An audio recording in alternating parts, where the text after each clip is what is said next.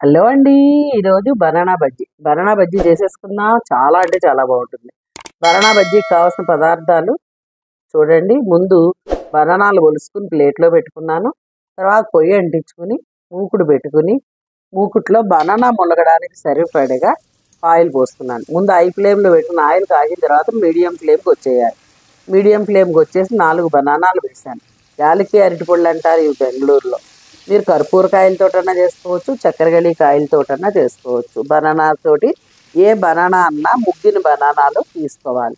బాగా మిగల ముగ్గు ఉండకూడదు అటు పచ్చిపరుగు కాదు ఇటు ముగ్గింది కాదు అన్నట్టుగా పట్టుకుంటే కొంచెం గట్టిగా ఉన్నటువంటి బనానాలు తీసుకోండి. చాలా అంటే చాలా బాగుంటాయి బనానా బజ్జీ. నేను అయితే ఎనిమిది బనానాలతో చేస్తున్నాను. ముందు నాలుగు వేయించారు చూడండి. గోల్డెన్ కలర్ వచ్చింది. బనానాలు వేసేయగానే కదపకూడదు.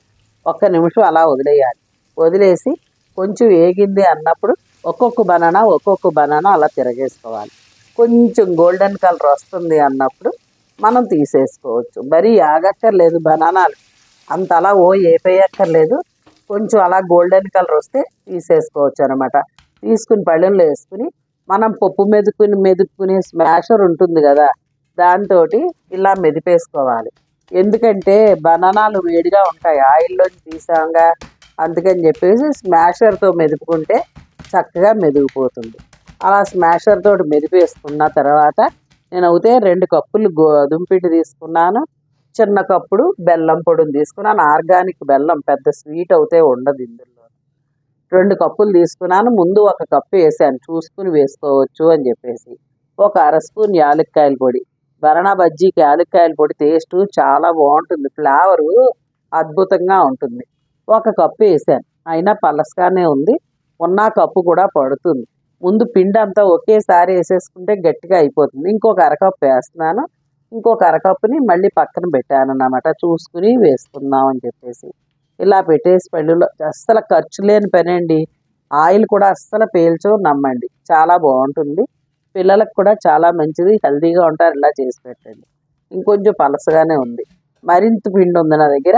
ఆ పిండి మొత్తం వేసేసాను. కరెక్ట్గా ఎనిమిది బనానాలకి రెండు కప్పులు గోధుమ పిండి పెట్టింది. బుల్లి కప్పుడు బెల్లం వేసుకున్నాను. కొంచెం యాలక్కాయల పొడి అంతే. ఇంక ఇంతకు మించి ఖర్చు ఏం ఉండదు పెద్దగాను. పెద్ద పని ఉండదు పెద్ద ఖర్చు ఉండదు. బనానా బజ్జీ భలే ఉంటుంది. చేసి చూడండి. కొత్తవారు ఎవరైనా చూస్తున్నట్టు అయితే సబ్స్క్రైబ్ చేసుకుని మీ ఫ్రెండ్స్కి షేర్ చేయండి. అలాగే పాతవారు చూస్తే కనుక లైక్ చేయండి. మీరు ట్రై చేసి కామెంట్ బాక్స్లో ఎలా వచ్చింది తెలియపరచండి. మీరు తెలియపరిస్తేనే ఇంకొంచెం ముందుకెళ్ళి ఈ మరిన్ని వంటలతోటి మీ ముందుకు రావాలని నానమ్మకి హుషారు వస్తుంది మీరందరూ చూస్తేనే నేను చేయగలను. ఎంతో కష్టపడి చేస్తున్నాను. ప్రతి ఒక్కరూ నానమ్మను దీవించి ఆశీర్వదించి మీ ఫ్రెండ్స్కి షేర్ చేసి కామెంట్ చేయండి. లైక్ చేయండి. ఇలా మీతో మాట్లాడితేనే గులాబ్ జాముండల్లా చేసేసి వేసేసాను చూడండి. చక్కగా ఒక్కొక్కటి చేతికి కొంచెం నూనె రాసుకుని ఇలా గులాబ్ జాముండల్లా చేసుకుని చిన్న నిమ్మకాయ సైజులో చేశాను నేను. చేసి వేసేసాను. ముందు ఒక పది పట్టిని ఫస్ట్ గుంటా వేసింది. అలా వేసిన తర్వాత ఒక సెకండ్ పాటు కదపకూడదు. అలా మెల్లగా అడుగుని అప్పకాతోటి అడుగు నుంచి ఎలాగంటే అంటుకుంది లేనిది తెలుస్తుంది. మూకుడికి అయితే అంటుకోలేదు బనానా బజ్జీలు. బాగా వేగుతున్నాయి. మీడియం ఫ్లేమ్లో సిమ్లో కాదు మీడియం ఫ్లేము కాదు అన్నట్టు పెట్టుకోవాలి. అలా పెట్టుకుంటేనే ఈవెన్గా ఏగుతాయి లోపల నుంచి ఉడుకుతుంది పైన క్రిస్పీగా ఉంటుంది లోపల కొంచెం మెత్తగా పైన క్రిస్పీగా ఉంటుంది. పెద్ద మంటలో పెట్టేస్తే మాడిపోతాయి లోపల ఉడకదు. ఇది గమనించాలి.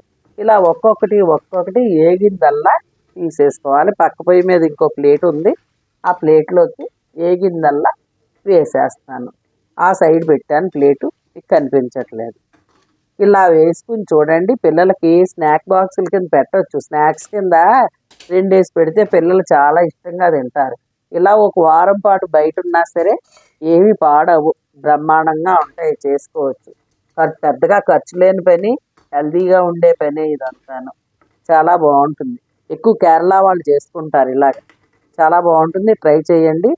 మా మనవలకు పోతే చాలా ఇష్టం ఈ బనానా బజ్జీ. మరి స్కూల్ ఓపెన్ అయిపోయినాయి కదా.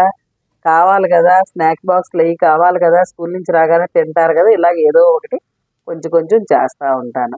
మీ అందరి ఎంకరేజ్మెంట్ ఉంటే నానమ్మ చేతనైన వంటలు మరిన్ని వంటలు మీ ముందుకు తీసుకొచ్చి చూపిస్తాను.